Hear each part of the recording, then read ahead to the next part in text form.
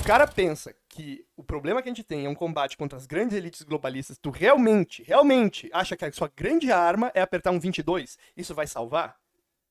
Né? Paulo Cogos acha realmente isso?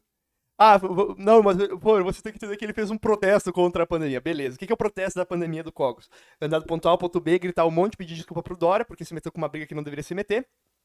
Sendo que quando eu sugeri que ele simplesmente fizesse o seguinte, ó, já que vocês estão coordenando pessoas para sair pra rua, por que, que vocês não coordenam pessoas para abrir o comércio e sair pra rua pra comprar no comércio, já que tava tendo esse problema, né? Por que, que vocês não coordenam isso? Ah, vai te fuder, sei o quê, foi ainda tá em São Paulo, porque queriam que eu voasse, alguns estavam falando que eu tinha que voar pra São Paulo pra protestar com ele. Vamos, vamos tomar no cu. Primeiro que eu não vou pra São Paulo mais, tá? Eu acho que a gente tem um limite de quanto amargura a gente passa na nossa vida. Mas... São Paulo que eu digo capital, tá? O estado, o estado top. O estado top não existe. Mas a região geográfica considerada o estado de São Paulo, pronto, me salvei, clã, não fui inconsistente. Essa é top. Não, pessoal ah, que não sei o quê. Passou quatro, cinco semanas, mais ou menos, né? Que eu falei que se protestar mudasse algo seria proibido. Esse foi o vídeo. Passou quatro, cinco semanas. Que daí o meu vídeo meio que fez, saiu da curva, né? Morreu. Começaram a defender exatamente o que eu falei. Né? Não tô pedindo crédito. O que eu tô dizendo é o seguinte. Quando começaram a defender exatamente o que eu falei, veja o que aconteceu. O Kogo simplesmente fez o quê? Não. Vamos mudar a nossa vida de volta para ser um movimento de apoio ao Bolsonaro. Daí Camila Vargas, Alexandre Porto, o Snella, toda essa galera, tem um monte de gente que quebrou a cara bonitos. Por isso tá tudo, olha, foi uma barulheira de prato quebrando, de cara caindo no chão, de, sabe? Do Cogos lá no megafone. Porque o mito levou uma facada por ras, não sei o que, ai, não sei o que.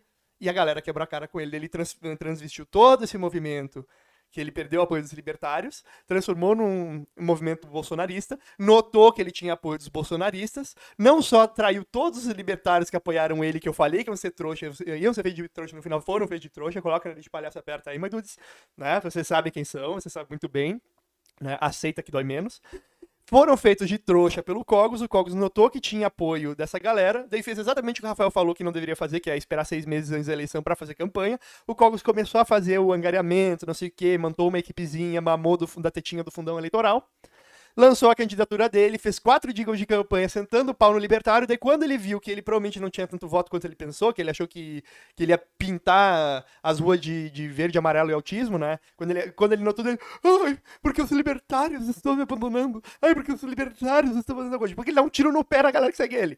Daí quando ele não foi eleito, quando ele perdeu, ele fez o quê? Ele pegou, meme do Obama dando medalha pro Obama, né? Ponto JPG, podem pesquisar aí. O Cogos se deu uma medalha como representante máximo democrático do libertarianismo brasileiro. Uma, e que os partidos vão brigar por ele. Isso depois ele cuspir em cima do libertarianismo. Vocês estão entendendo o que, que eu estou dizendo? O que, que é essa lama? O que é esse miasma? O que, que é essa desgraça que acontece? E o cara pega e defende todo esse tipo de absurdo. Porque, porque os globalistas vão tomar. Cara, se o, os globalistas são realmente ameaças, os comuns globalistas, de acordo com o Vox, são realmente ameaças, e diz que é, não é com o votinho que vai mudar. Não é.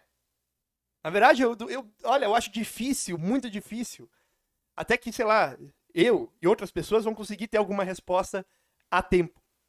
Né? Vai doer ter uma resposta a tempo. Porque a gente vai ter que pegar. Esse, isso vai ser assunto da próxima live, mas vai doer por quê? Porque vai ser um momento que tu vai ter que pegar e desligar do mundo moderno. Sabe o que o pessoal fala de retornar pro macaco, quase isso. Quase isso. A gente vai, vai voltar para pro feudalismo, quase. Né? Só que sem lord, sem coisa, vai, vai ser tipo low-tech e mid-tech, tá? Podem, eu vou dizer para vocês, eu acho que a única estratégia é essa.